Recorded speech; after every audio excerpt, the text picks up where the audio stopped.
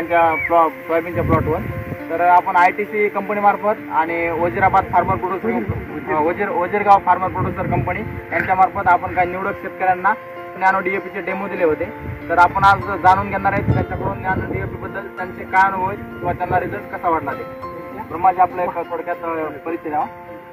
नमस्कार सर माझे नाव ब्रह्माजी भगवानराव ढगे राहणार वजीरगाव तालुका नायगाव जिल्हा नांदेड.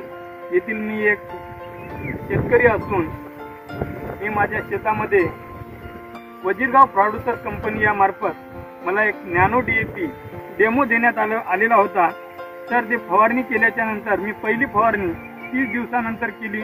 सोयाबीन लागवड केल्या तीस दिवसानंतर आणि दुसरी फवारणी ही पंधरा दिवसानंतर केली.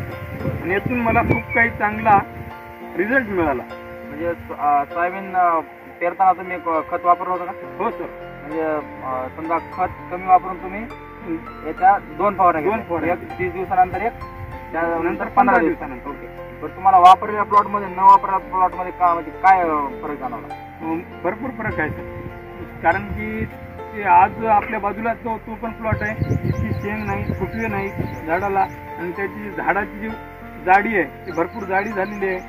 आणि आपण हा खत नॅनो डीएपी जे वापरल्यामुळं आंतरप्रवाही खत असल्यामुळं डायरेक्ट झाडाला आपण टाकल्यामुळं तो मुळी वाटेल लवकर प्रसारित होऊन झाड लवकर काम करण्यासाठी स्ट्रॉंग बनतं म्हणजे तुमचे एक एकंदरीत चांगला अनुभव म्हणजे उत्पादन म्हणजे इकडला प्लॉट तुम्हाला समजा वापरलेला प्लॉट चांगला वाटला चांगला वाटला. तर बाकीच्या शेतकऱ्यांना तुम्ही काय सल्ला द्याल समजा नॅनो डीएपी बद्दल कारण की नॅनो डीएपी जर आपण हा जर खत वापरला तर फवारणीद्वारे लवकरात लवकर पिकाला कसं अटॅच होईल?